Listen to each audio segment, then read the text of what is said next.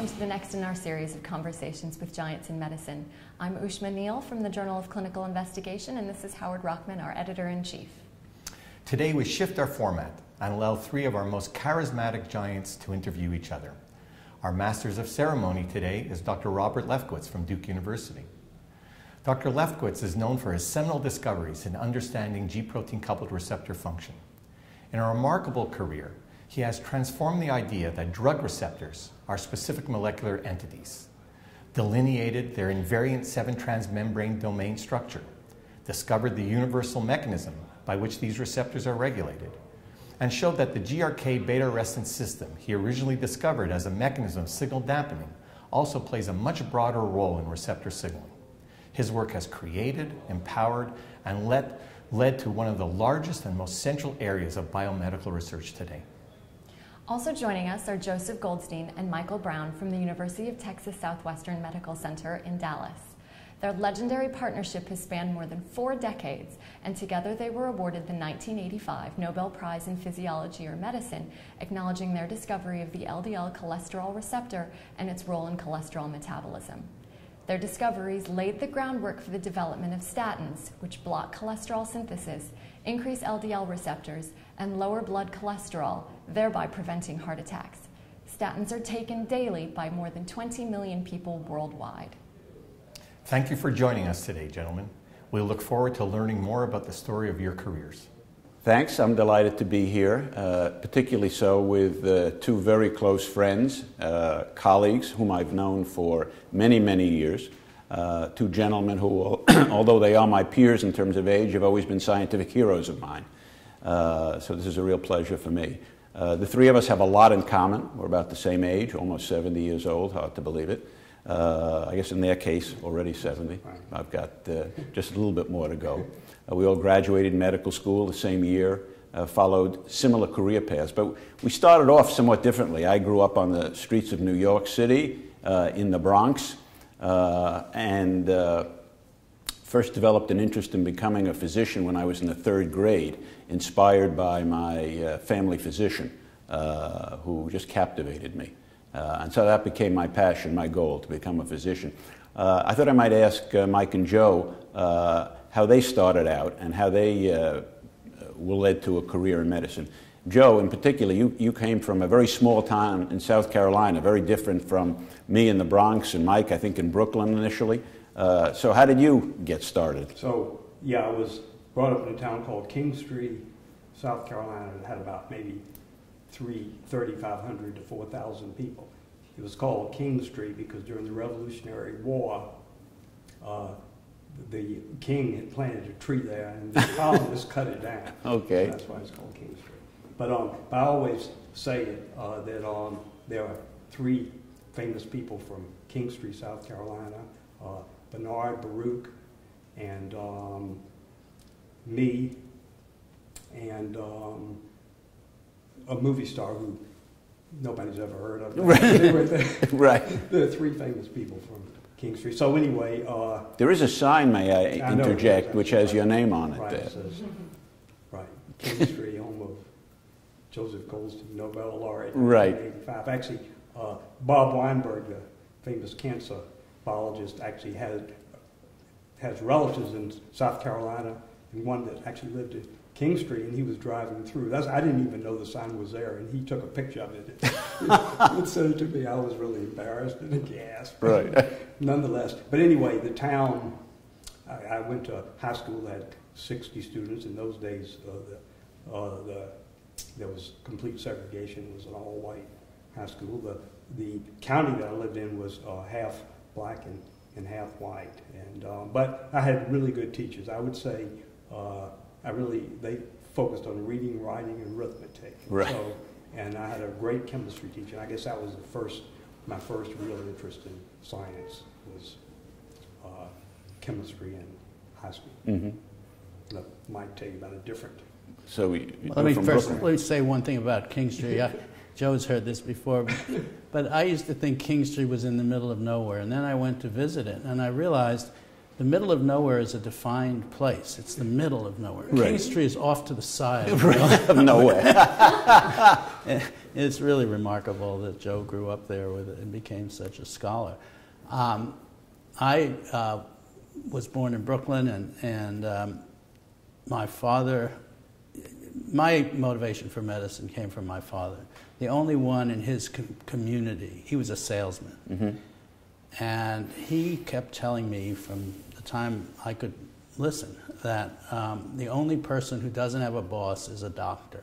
He, in his community, um, the doctors were the highest, the most respected people, and they were all individual practitioners, and none of them had a boss. Mm-hmm. And um, he said, if you want to grow up without a boss, be a doctor.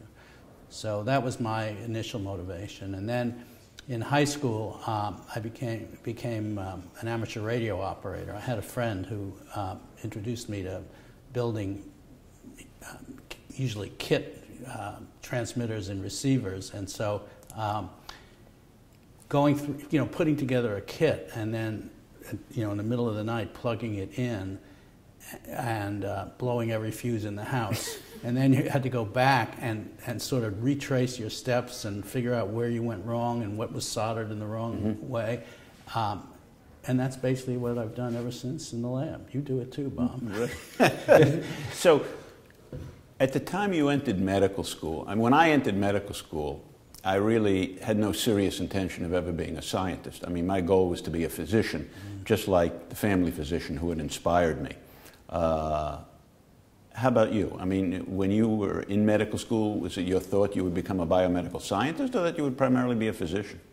So, so they had, so I went to medical school at UT Southwestern, and they had a, um, a program that was just beginning for research, you know, for medical students. Actually, was run by uh, Jean Wilson, famous endocrinologist, uh, former editor of the JCI.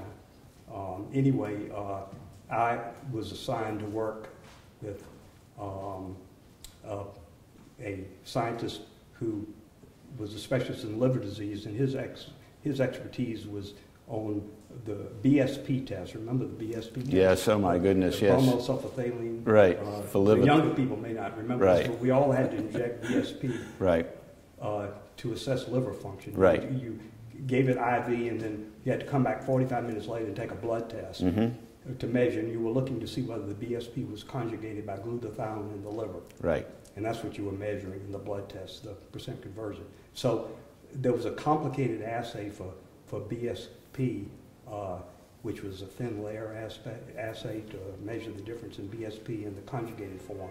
And so, to make a long story short, uh, I was making a standard curve of this BSP on a spectrophotometer, and I, this is not like my first month in the lab, had the wrong, wrong wavelength, and I found something that that my professor that I worked for, Burton Combes, uh, was looking over my shoulder and had never seen before because he never worked this wavelength. To make a long story short. I figured out a way that one could easily measure the conversion of BSP to BSP glutathione in like one minute.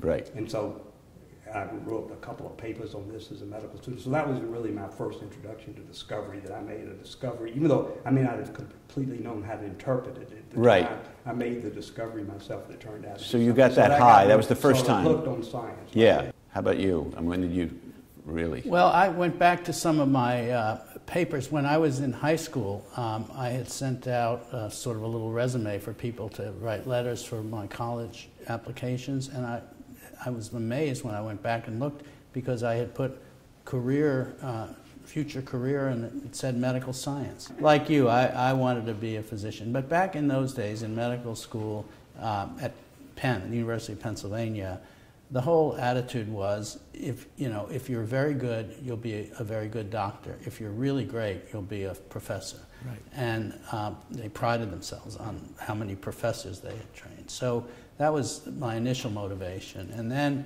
it was at the nih where we all met that i got my first sort of eureka moment.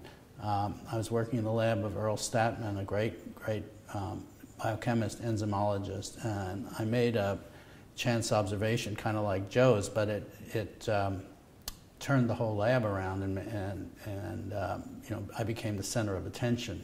Right. And well, you know what that's like. You were exactly. I used to go to your news conference. but it, it is interesting that you need somewhere early. You Yeah. need that kind of a, the, a sense of uh, wow, this is incredible. Right. Or that you can do something different that no one else is doing. Right. And I think that's really probably the key. That's the key. And it, it really doesn't matter in retrospect how important the finding is, Right. right? I mean, if you can give a student or a fellow, if they can just have that eureka moment, no matter how trivial the finding is, Right. and appreciate that in that moment they're knowing something Right. that nobody else knows Right. in, in that And instance. self-confidence. Yeah, exactly, and then you really get hooked. Now, one of the most remarkable things about the two of you is, is your scientific partnership. Uh, this is unique uh, in our experience, and there are so few scientific partnerships. I remember giving a talk at a symposium held in your honor, which I believe was for the 25th Right. anniversary of, of this remarkable ago. Collaboration. right. And I was thinking back, and I said, "Is it possible that was almost 15 years ago?" I mean, it was just absolutely amazing. So there are so, so so few scientific partnerships. So I'm curious, how did this partnership get started, and how in the world did it persist all these years? Well, we met at the MGH. Uh, Mike and I were both uh, interns. He has an interesting story he'll tell about his perception. Right. But, uh, but, but I would say, um, I guess we were sort of in the emergency room, uh, maybe the third month we were in the emergency room together. That's where we probably first got to know each other. And, and we really, those are the days when you're on every other night Mm. and you know you really had to work hard. What we refer to as the days of the giants, right? and um, and so we would always talk about cases, and somehow we uh, uh, had a mutual respect for each other, and we were interested in uh, both of us were interested in metabolism at the time, and um, you know I remember very specifically we had a patient that came in with meningitis who had lipodystrophy. And, and that was sort of interesting. Neither one of us knew very much about lipodystrophy, so we taught each other about lipodystrophy. Mm.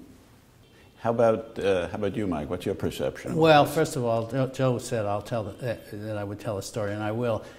When I was accepted at the Mass General for an internship, it was the first.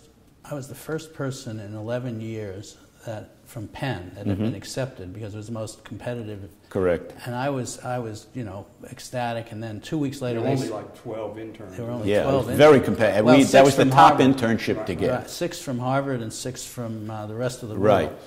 So, um, so you know, I was so excited, and then a week later they send you the list of your fellow interns, and there was this guy, Goldstein from Southwestern Medical College in Dallas, Texas. You know, I never heard. I thought it was a Bible school, and I figured, well, if they're accepting this guy, then maybe you know nobody applied this year. Right, and that's why so they hot, accepted yeah. me, and and you know, so I had very low expectations, and I remember it a little differently. At least I remember admiring Joe's uh, in- intellect and and experience very early. I mean, I, I put it within the first two or three days Mhm. of residency. It was clear that he knew more than anybody else, not only in the internship group, but Mhm. this, no, more than most of the senior residents and half Right. the faculty.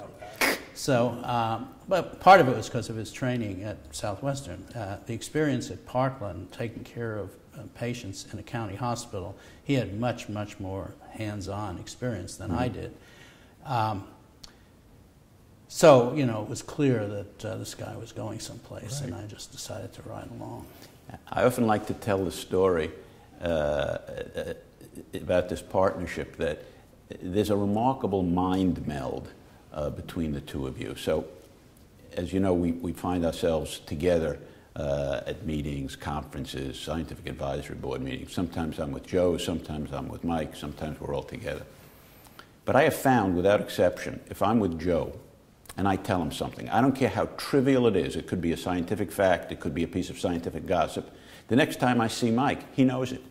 Okay? and this is without exception. And there aren't enough hours in the day for Joe to have related everything I told him to Mike, and yet, and, and vice versa. Uh, So, how does that work? Uh, Let me just say again, it, it's not just gossip. I come in every morning, and Joe gives me a complete digest of the scientific literature from the night before. Okay, I mean, I it, I have the most privileged existence because I don't have to read anything. It's amazing. And everything in the New York Times. I, I have had the experience at, on many occasions of being with Joe at a, at a meeting, and Yeah. we, we come down like at 7 a.m. Right. Uh, to catch the bus to wherever we're going. And he says, Have you seen this story? Have you seen that? I said, No, where did you read it? He says, In the Times. I said, How did you get the Times this early? But he just kind of smiles He- and he tries to uh, get it. yeah. But you, if you get off a plane with him, okay. Mhm. I'm telling stories about Joe, but if you get off, if, if you get, if you get off a plane with him and you're walking through the concourse, and I'm worried about the taxi or picking up my luggage or whatever, he makes a beeline for the newsstand just in case there's something new out there he Mhm. can read. And then the internet was invented for him. Oh, I mean, there's God. no question that Al Gore invented the internet for Joe Goldstein. It, it's just Joe's the two Southerners, you know, obviously. Joe is the ultimate multitasker. I, I, I've had on many occasions uh, the following experience. We'll be sitting at a scientific advisory board meeting for a company, and a very complicated uh, set of slides is being shown. I'm trying my best to focus all my attention on it. Joe's busy on the internet, sitting next to me. He's got his computer out or his iPad, and he's, he's flicking back and forth between four stories and this and that. Uh, he's doing an email. And I say, he's not paying any attention at all.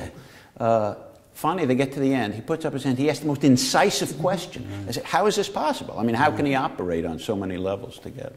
Kind of So, interesting. so I think all of us, the three of us, are lucky that the internet wasn't invented, that Al Gore didn't come along in our formative years, because we would never have never been able to focus. Because I think our, you've even given a talk on focus, focus, focus. Right. That probably is the most single important thing for a young scientist. Scientist is to focus. That's Focus and really try to solve one problem at a time. You're right, Joe. I mean, this is a very interesting issue. If you, if you look at our three careers, one thing that we, we have in common is this element of focus. I often tell people that uh, you could take most of the experiments going on in my laboratory right now, and if you went back to the experiment that led to that, and then the one that led to that, and the one that led to that, Right. you could go back to the day I opened my lab without any real jump. In other words, I've pursued a line of research. Granted, it's ramified and you can't follow all the direction, but we haven't really jumped. I think, I think the same is sort of uh, true of your The career. way I say it is that we never jump with two feet. If we're, if, we always keep one foot on solid ground. If we're exploring new areas, we Right. keep one foot on solid ground. So all of our work has really stemmed around cholesterol, lipids in general. Right. Um, and it's nice because you know a lot of smart people aren't interested in lipids, so we, it makes it easier for us. So I, I- I think an interesting question for, for any scientist uh, who's been uh, as successful as, as you guys have been is, is how you got to the particular problem which basically was the basis of your career. Uh, Joe, I know you had an interest early on in uh, uh, clinical lipid disorders from your fellowship. Mike, you were studying the enzyme HMG CoA reductase, which is the rate limiting step. Uh, so, how did you come to the actual problem that you wanted to study at the beginning, the regulation? Well, so remember when we went to the NIH, all- all three of us were clinical associates, even though we worked in labs. I worked in Marshall Nirenberg's lab and had the great fortune to, to have lab mates like uh, Tom Caskey and Ed Scolnick, um, from whom I learned a, a great deal. We worked on uh, the end stages of protein synthesis. Anyway, while one worked in the lab, we also had to see patients. And one of the first patients that I saw in the Heart Institute were these, uh, the, this brother and sister, six and eight years old, that had what's called homozygous familial hypercholesterolemia. They had cholesterols of 800 to 1,000 milligrams per deciliter. Mhm. And uh, they had coronary disease. One of them had already had a heart attack, and the other had severe coronary disease. And so they were being brought into the NIH uh, under uh, Don Fredrickson's laboratory to, for study. And so I remember this was really the most unbelievable patient I've ever seen. I remember telling Mike and everybody else that Right. I saw about this. He was the only one that responded in a Right. dramatic way. So we started talking about it, and I had, um, having come from Southwestern Medical School, uh, I knew uh, there was a scientist named Marvin Siperstein who worked on cholesterol synthesis. And HMG-CoA reductase. And so when I knew a little bit about that, that was regulated in animals when you fed cholesterol, the enzyme went down, and when you put them on a low cholesterol diet, it went up. So Mike and I kept talking about this, and we came up with this idea that uh, that the defect in this disease, these were homozygotes, so they had uh, two abnormal genes. And the heterozygous form of familial hypercholesterolemia is a very common genetic disease, one in 500 people. About uh, 5% of heart attacks under age 60 uh, occur in people who have heterozygous form that have cholesterols around. This was a finding you made during your fellowship with Arno Motulsky. But, uh, but anyway, back to, so we came up with this idea that, that maybe the, the most logical defect would be in this enzyme, HMG-CoA reductase, and, and you would have a mutation in the site that would respond to feedback inhibition by cholesterol. Allosterism was in the air then because of Jacobi Right. Monod. So that was the most obvious Mhm. thing. So, so uh, Mike can take the story from there. So, w- so where were you thinking at that Well, point? at That, the night. th- Felt at what locus were you thinking this defect might be? At the level of the enzyme. And whereas everybody else was focused on, in fact, the Fredrickson lab, they were characterizing the lipoproteins in great detail. In other words, they would take out the LDL and then do, that was when all the apoproteins were being defined for Mhm. the first time. And they were doing detailed hydrodynamic studies and physical studies and all that. And So was their Fredrickson had defined these different uh, subclasses? of Yeah. lipoprotein, and they, they were focused on uh, structural abnormalities in the apoproteins. Mm. That's what they thought Gotcha. the defect was. Well, let me just first uh, start by saying a word about NIH because it meant a lot to all three of us, Right. right? And the fact is, um, it, it was magical. I feel really, really sorry for the current generation because they don't have the experience. So the three of us had the same background. We all Right. were, went to medical school. We were all very serious about our clinical, being clinicians, learning to be Mhm. great doctors. And we go to NIH, and suddenly we get thrust together with all these scientists, these incredible scientists. And, you know, there's a whole, the, if you look at the achievement of people just like us who went through the NIH at that time, it was remarkable. And I think it's because of the culture, because that you took this clinical group and you put them together with these brilliant scientists, and suddenly, you know, it's this clash of different cultures that really put. I want to interject that in our group of, of clinical associates, which was quite small, in addition to the three of us, was Harold Varmus. Right. Okay.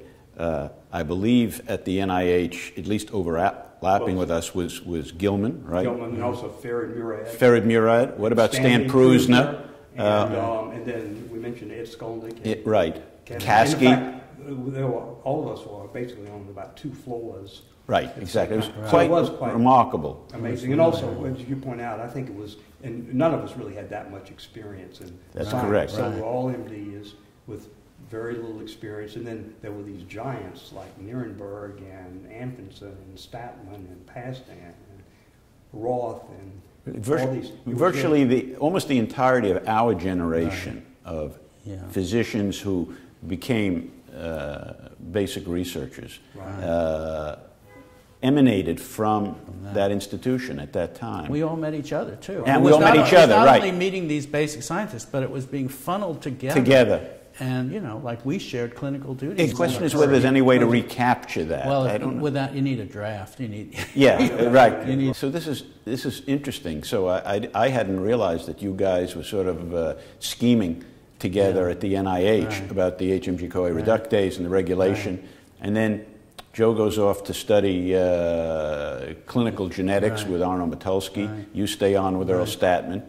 How did? And then I know Joe was going back because he had basically been, uh, you know, tapped or knighted by uh, Don Seldin to Right. come back there. Right. Ha- What happened to you? Well, How'd you Joe, wind up well, down there? Well, Joe kept telling me, you know, what a wonderful place Southwestern was, and I, and I met Seldin, and he was just the most imposing person I'd ever met, Right. just in terms of erudition, not, not only in medicine and science, but every A real polymath. And- Knew everything. and, and incredibly inspirational.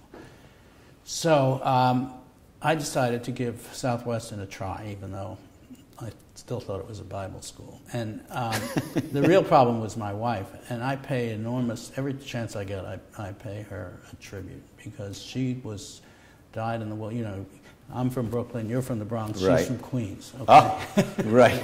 we covered three of the five Right. boroughs. But she was, I call her a born again Yankee. And, Right. and being, uh, going to uh, Dallas, Texas in 1971, just a few years after Kennedy's assassination, that was not high on her list, especially since our, my other opportunity was in San Francisco at UCSF. Right. But um, uh, you know, she, she agreed to come, and um, and I promised her it would be for one year. Right. That's 41 years ago. I want to interject that uh, Mike and his wife Alice, who uh, have been together since I guess high school days. Yeah. Yeah. And uh, it's nice to see a marriage like that. Well, I, you know, I, t- I tell people I found two people in my life that I can get along with. Right. One is Joe, and Right. the other is Alice. Right. And I, I, don't switch easily. Right. But um, anyway, to, to get along, make a long Yeah. story short, so I started. So the uh, hypothesis was there was something wrong with an allosteric site on this enzyme, and since I had learned about enzymes with Earl Stadtman when I went to um, Dallas, I started working on HMG CoA reductase, which was a very recalcitrant enzyme because it was a membrane bound and you've dealt with Mm-hmm. Right, right. your whole life, Right. so you know what it's like. Uh, and it had never been solubilized, never purified, and I was very lucky that um, I was able to solubilize the enzyme and at least do a partial purification. Turned out, now that we know about it, it was, it was actually a proteolytic fragment of the enzyme that had lost its membrane attachment site, but it was soluble and it had full activity. so anyway, somehow I got, it, it was a big breakthrough and I got a lot of, again, a lot of attention, credit.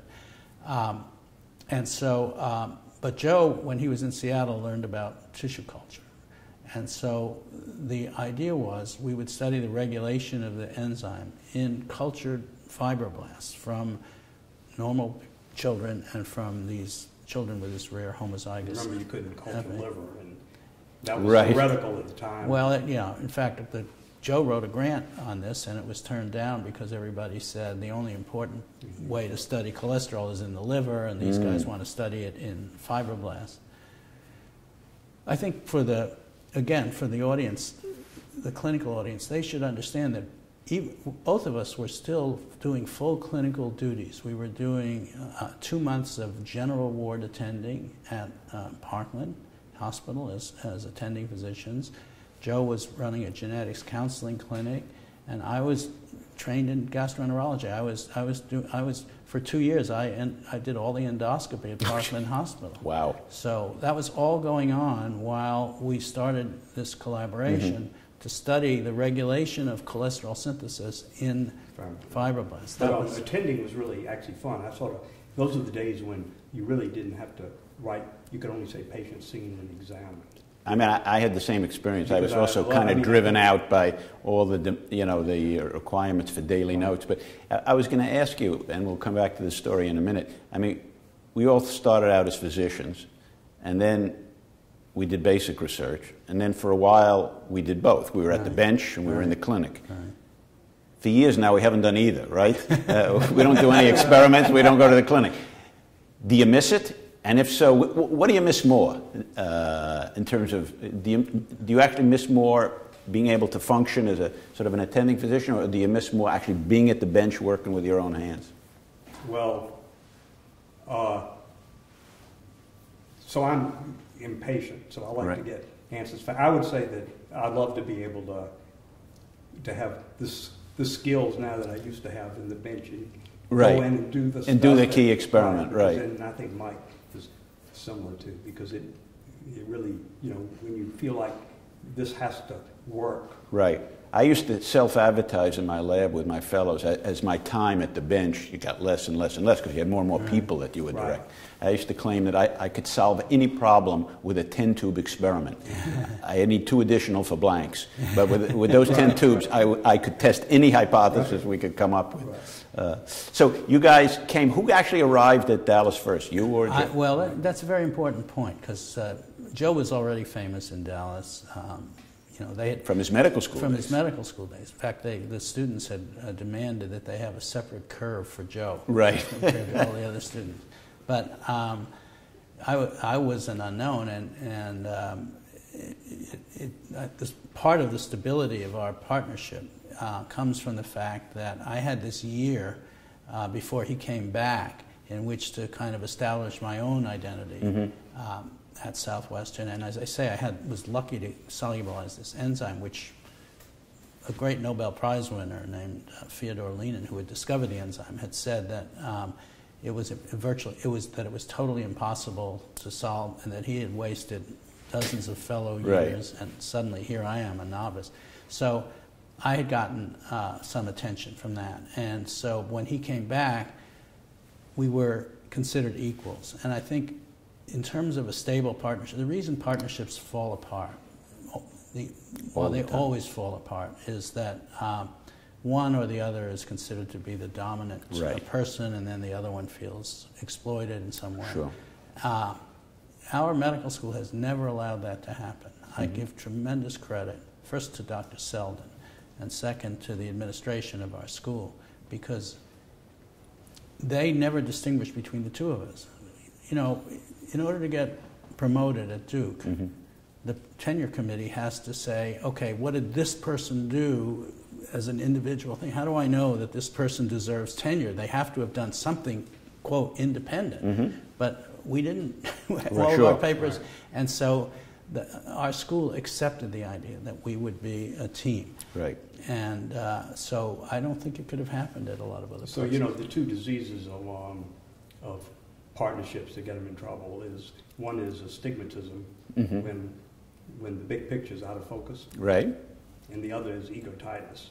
Absolutely. That's a, And of course, we all have that with our, our young people.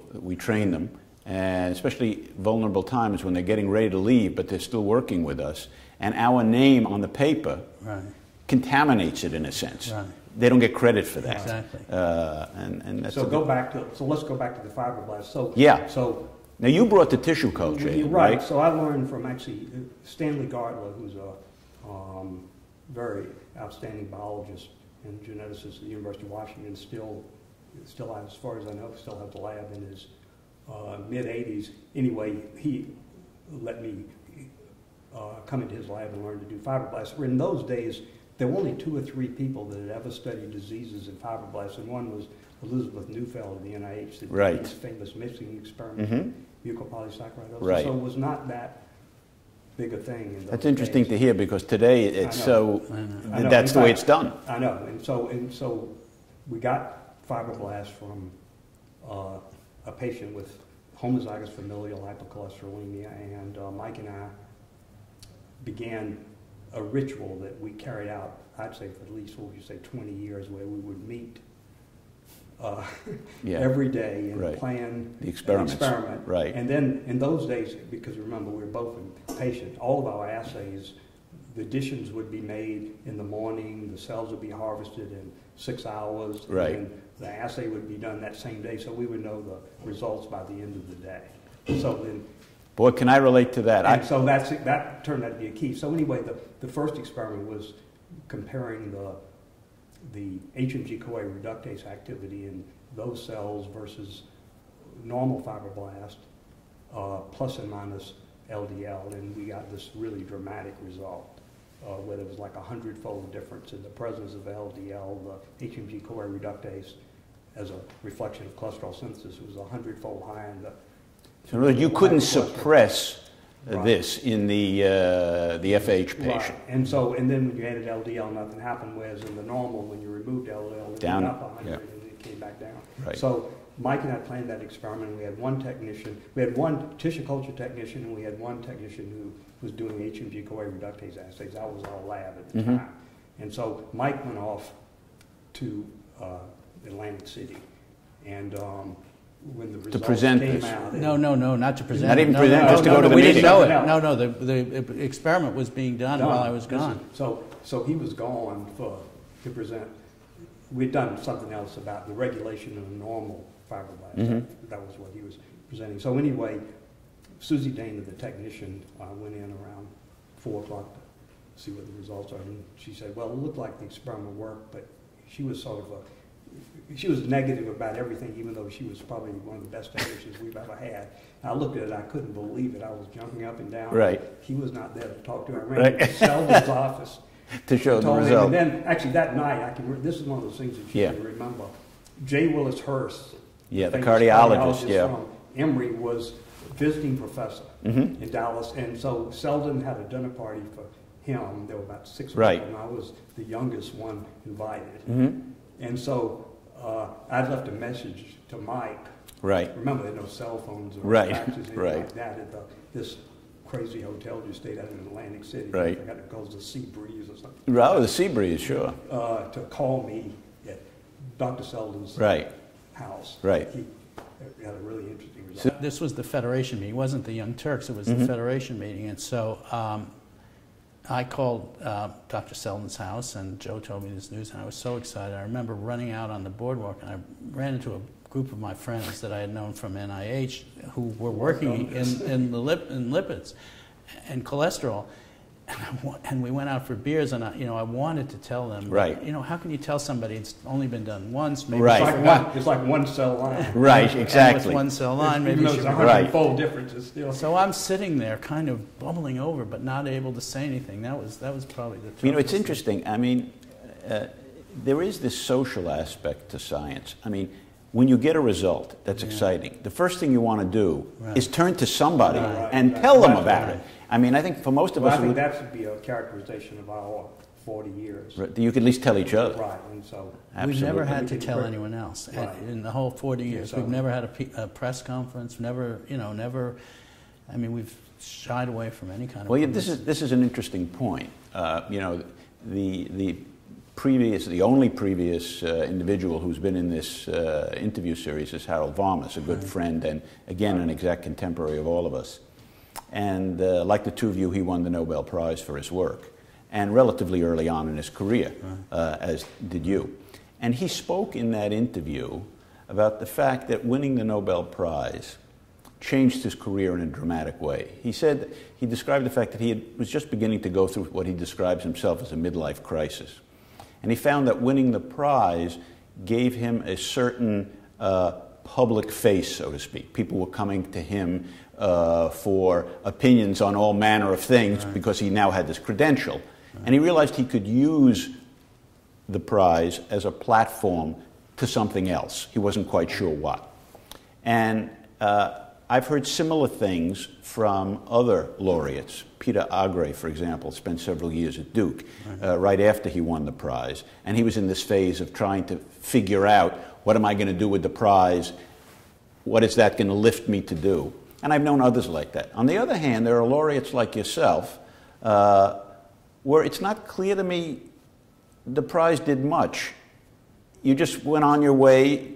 Kind of, if I try to picture your careers without the prize, I mean, I think you'd pretty much be doing what you're doing today. I mean, you seemed uh, to sort of shake it off pretty well. Uh, I'd love to hear your thoughts about that. Well, it, it definitely helped us in a funding sense. Actually, we got a lot of support from the Perot Foundation. So it's Right. a great story. The, the president of our medical school, uh, before we won the prize, went to Ross Perot, who at that time was the wealthiest person in Texas, about funds for the medical school. you say at that time, uh, the That two of you have currently having taken over that, uh, that position. Right, that's 1983. Right. Okay. Right, Okay.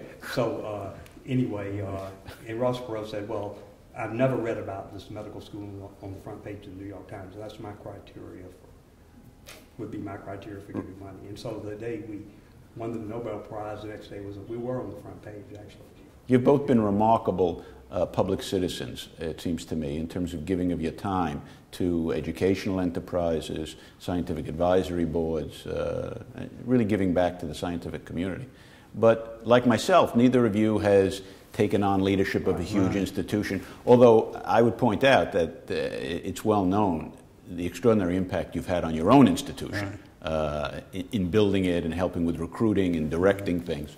Uh, but what about this, what must have been a conscious decision not to, sort of, shall we say, seek the limelight or direct some large enterprise? It, well, first of all, it was a conscious decision. I think, again, it, you're helped a lot by having a partnership because we discussed this quite a bit. I'll bet. And what we realized was the same thing you, you know, if circumstances had been reversed and you had been in that position, Yeah. I think you would have done exactly the same thing. I know you would have. Right. The fact is, um, the um, you know what what we asked ourselves what what is it that we really like to do and Mm-hmm. by that point of course we weren't working in the lab anymore but our great thrill is to come in in the morning and have some excited graduate student or postdoc come up and with a hot experiment you know anxious to show us and then you know or you know it even it's even fun when the experiment doesn't work and you help them you know try to That's- figure That's, that's most of the time. try to figure out.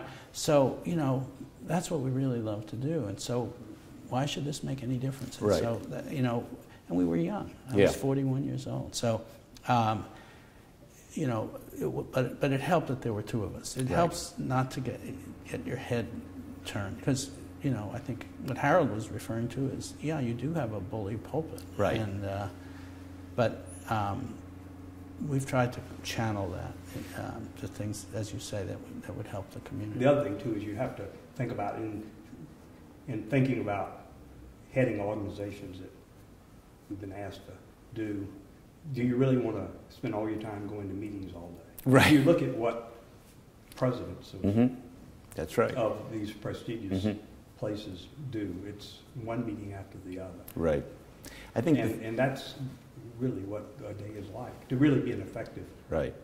I, I think the three of us, you, when you talked about that impatience to, to see the result at the end of the day, I mean, that's sort of like uh, uh, almost an addiction. And once you get that, I think the three of us have just never been able to get out from But, under but it. it's changed though in the last. right. You're It's absolutely certainly changed, don't you? It- The Sure. molecular biology has changed in a major way because you can't get a result Right. often, Th- This is Well- correct. Well, you in know, uh, most cases. well, you don't use the same assay. I I mean, know. you know, how many thousand binding assays? Right. did Can you do right? I remember vividly, just similar at the same time that you were uh, doing those fibroblast experiments, uh, myself and a, a young graduate student at MD to my lab, PhD in my lab, Rusty Williams, whom you, who you know, Yeah. know, we were doing all kinds of experiments with the uh, receptors that we were studying. And I think back fondly on those days because we could do an experiment during the day. Then we would go to the scintillation counter about six, se- seven Right. o'clock before we went home. And we would get 0.1 minute counts just to sort of see what happened. right, Remember right, that? yeah, In fact, sure. we wore out Right. the dial on the scintillation counter, you know, because you could run all through, and you know, you would, either counts went up, counts went Yeah. down. You, you would know what happened. Right. And then you'd set it to 10 minute counts and go home. But you went home with a sense of what happened that day. You know, it's Uh, interesting. We, you know, of course, we shared that experience with each other. We didn't have any students. We didn't have any postdocs for the first five or six years that we were working. We had these two technicians, but um, so we share that electric experience of, Right. of getting a, an important result. But it's interesting that I had no idea what a graduate student was. I remember when I was in medical school working in a lab, and there were these guys that happened to hang around, and I knew they weren't medical students. Right. I had no idea Right. who they were. Right. I swear to God, I had no idea who they were. And, uh, and suddenly, you know, we have an MD, PhD program, Right. we're getting graduates. I think the best thing that I can say about mentoring is that you have to, if you're a good role model yourself, that's the best way without having a prescription. I like that. That's what I would say, just being Right. what you do. In other words, if you come across as someone who is passionate about your work, curious, dedicated, honest, Honest, and, Integrity. cri- honest Right. and critical, critical, is really Right. self-criticism. That's, in fact, that's one. I'd say that's another advantage that Mike and I have is that we can have m- what's a good word for it? More than just self-criticism, we can have dual criticism. Yes, I've observed that on many occasions. No, because we Uh, can. We, you know, the good ideas come survive when both of us agree. Right. Well, I, I, Joe once told me something which I've passed along to some of my people on a number of occasions, but I'm paraphrasing. But as I recall it, Joe once told me that the key to having one good idea is to have a hundred bad ones and very quickly sort through them to find that one gem. Of course, I guess having the two of you. Oh, the partnership does Yeah, that. the partnership Automatic- really helps with that, yeah, doesn't it? But I always tell our students, almost sort of half jokingly, that 95% of the literature is wrong, Right. and the other Oh, 5% right. was written by us. right. I like it. So, Uh, thi- This seems uh, akin to something I, I often tell my people that there are th- only three ways that people quote us uh, insufficiently, inappropriately, or not at all. Uh, and uh, a- at some level, I, uh, Yeah. I, I, I kind of believe that. But I very much endorse what you say about mentoring. uh, not that long ago, uh, I saw a, a, thick volume, about this thick, oh, which had been produced, and it was about how to be a mentor. from the National Academy. Yeah, how to be a mentor. And I was saying to myself, I never thought about that. I mean, the way to be a mentor is to put yourself out there. I try to make myself as transparent as possible. Anything that's going on, watch me. It's an apprenticeship, right? It's, it's like in the old days becoming a physician. You apprentice yourself and you watch. And you can't just watch for a month or two. You have to watch for several years. Well, that, but I'm afraid that some of these summer rotations that students do are actually counterproductive. I couldn't agree more. Yeah. Because, you know, it takes, it takes time to really get a sense of right. it. And, uh, you know, in terms of mentoring, I think, as you say, more than anything else, it's a matter of acquiring a certain sense of taste, of integrity. How do you do things? I guess one of the most challenging things that we have to do is, as you said, on the one hand, you need to demonstrate rigor. On the other hand, you need to demonstrate even n equals 1 uh, right, can really turn you on because right. it gets you thinking. Well, we always. Yeah, and I always make that point. Often the, the fellows I find are resistant to show me. They'll, I'll say, "You got something." say, "Let me let me repeat first. I, don't repeat it first. I want to know now." okay? We were just talking about that yesterday. Okay, and you know, nine times out of ten it either doesn't repeat or it's right. wrong, but still you want right. to know the n equals one. I, like I hate it when they don't show us negative data. You're right. You would we say, great, let's, let us see the negative data. Uh, you should come. Be, yeah. We should hire you as a postdoctoral fellow. You could then be the model for our postdoctoral I would love it. Uh, well, no, we're all the no, same. that is true. So right. We, well, I think we all have these very similar experiences. Right. Well, apparently we have to wrap up. I, I want to conclude with, uh, with one last story, which I think illustrates a little bit about these two guys. So it is remarkable, uh, I think, to many of us, just how, uh, as I say, they kind of shook off winning the Nobel Prize and went on their way. But you shouldn't be fooled into thinking that these two are not rock stars of science and celebrities. I want to tell one brief vignette. Uh, so Joe and I were once flying from Dallas to San Francisco, something that we've done on many occasions, and uh, we are on several boards together. And on this particular occasion, this was a number of years ago, Joe, we sat together. Uh, and uh, about halfway through the flight, a gentleman was coming back, I guess, from the restroom, and he recognizes Joe. And he says, Oh my goodness, he says, You're Joe Goldstein, that famous doctor who won the Nobel Prize. I read about you in the paper all the time. I'm so excited about what you do. And on and on and on. He, Joe just wanted to go under the chair. Yeah, I mean, you just could see the discomfiture. But these guys are really celebrities. So I would sort of end on that note that uh, although they, they wear this mantle uh, with a great deal of grace, uh, they still are recognized both amongst the scientific community uh, and the lay community for everything they've done. So, one, so since you told that story, so yeah. people do, it, it's not as common as it used to be in Dallas. They would always see me or Mike or both of us and say, "Oh, you're the guy who won the Peace Prize." you explain, "No, we did this and another." Now we just say, "Yeah." right. Oh my but I'll just end with one vignette about partnerships very frequently people will call me Joe, and, and I, you know, and I always say, and they're always embarrassed, and I say, don't, don't be embarrassed. My wife makes the same mistake. I love it.